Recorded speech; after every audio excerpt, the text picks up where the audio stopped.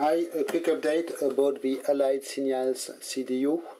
Someone commented in the teardown video that these units are actually easy to power on with just 27 volts DC.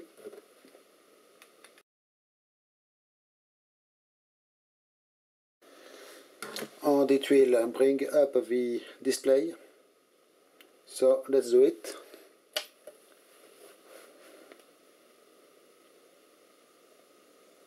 Needs a few seconds but you can see yes we have a nice and crisp display about uh, data transmission error because yes it needs to be connected to the mothership and it does not match without uh, the main system connected. But at least it is working. I believe it should be able possible also to uh, bring up the uh, backlight with uh, 5 volts on another pin. But this is the main thing. Look at this. Very nice display. So what do you can do? Probably there is some kind of a built-in test function with a secret combination of keys. That should allow to test the keyboard on the display on the processor and so on but I did not find any uh, information about this. But what you can do is actually to adjust the brightness by keeping the brightness button pressed, as you can see. And you can also request turn off by pressing this button. And we have this very nice pattern, caution system turning off.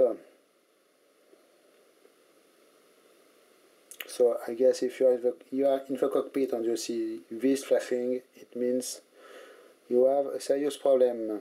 In particular, if you do not request to turn off the system. Okay, so of course uh, for a complete test it could be good to have a complete system. Maybe it is possible to do something with this as uh, interfacing it with Twitter or something like this but it could require a lot of uh, retro engineering, in particular without any technical documentation, would be very complicated. Someone who like CuriousMarc should be able to do it, probably, and it should be quite uh, fun to use it. So I might, as it is in display on my in my living room, I might uh, find a compact 27 volt uh, power supply and turn it from time to time on. Just for display purpose. With uh, remote control should be nice. Because my current uh, 27 volt display is a little bit too bulky. Uh, power supply I mean. Okay.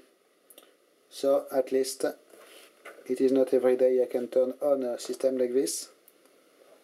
And very nice uh, green CRT here it was a little bit burnt, the phosphor, but uh, it is still uh, working nice. Okay, thanks for watching, bye bye.